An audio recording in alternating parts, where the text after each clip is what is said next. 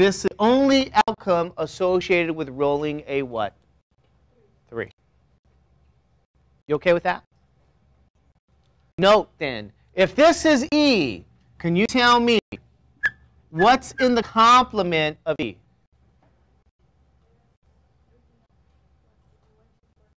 Yeah, one, what are they? One, two, what else? Don't tell me three. Why not? Why not three?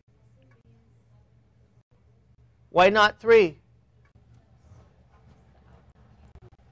Complement of an event is the list of outcomes in the sample space, okay, that are not in the event. So it's one, two, four, five, and what? You okay with that?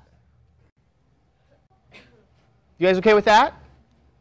This information you need to know to answer the question. And then you need to know the definition, which is what?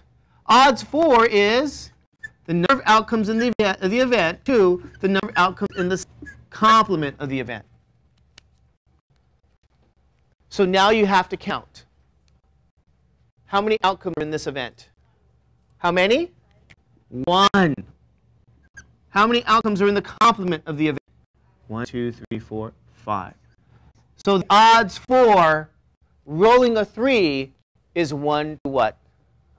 5.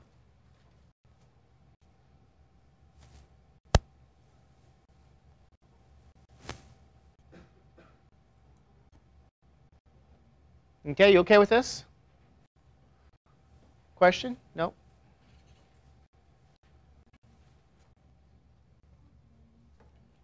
Question two.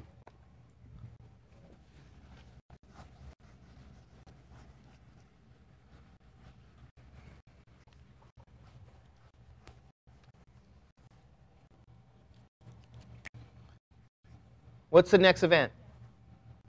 An even number. Can you guys tell me?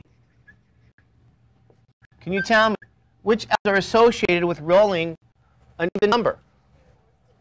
Or look at this sample space. Which numbers are even? Two, four, what else? Six. Good. What's the complement of that event? One, three, and five. Good.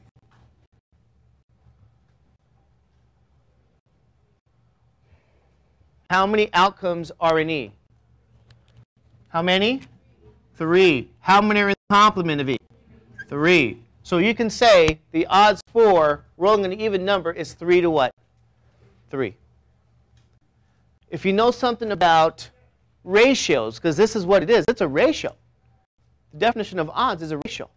Number of successes to the number of failures. There's three successes to three what? Failures. Do you guys know how to simplify this?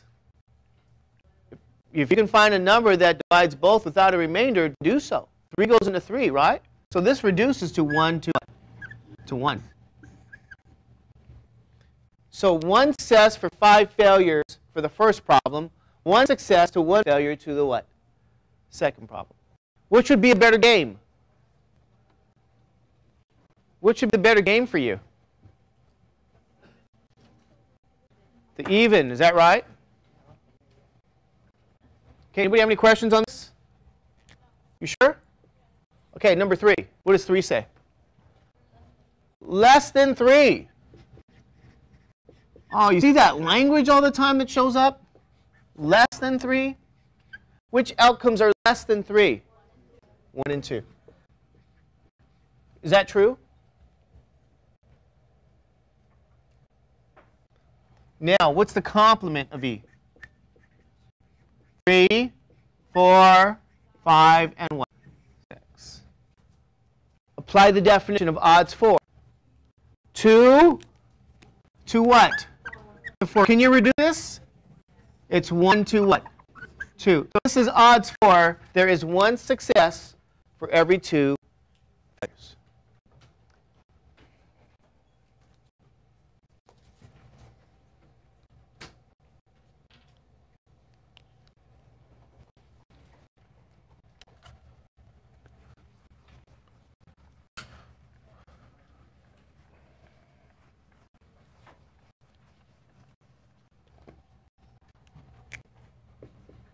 4. Question 4. What's 4?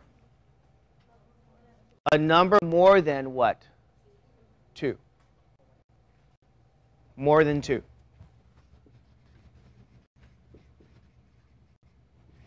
Okay, which outcomes are more than 2? 3, 4, 5, and what? 6. Is that true? Do we do more than 2 there? I guess we did. What's the complement of that? 1 and 2. Good. What's the odds for? 4 to 2, better known as 2 to 1.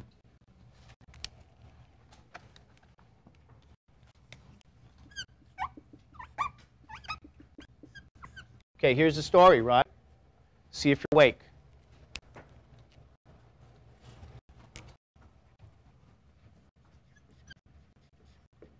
Is the odds against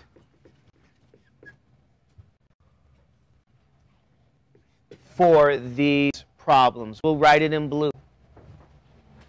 Odds against. Hmm? Just do what? Reverse the numbers. 5, 2, 1. Five failures for every one success. This is what they give you in this. One, two, what? One. And then two, two, what? One. And then one, two, what? Two.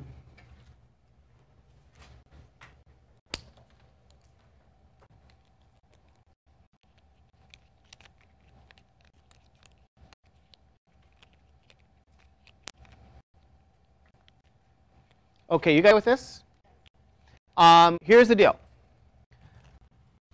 Remember the question that was asked? Somebody says, you know what? Um,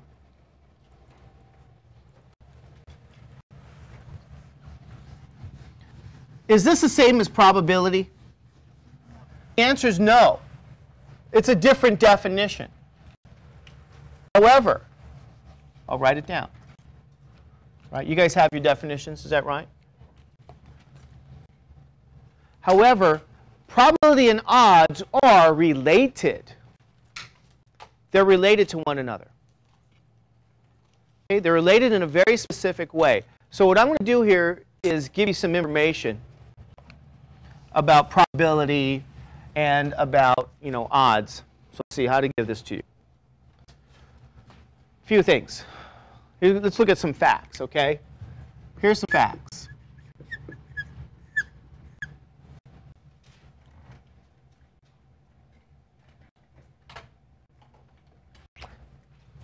First fact. Let E be an event. Do you guys know that? 0 is less than or equal to the probability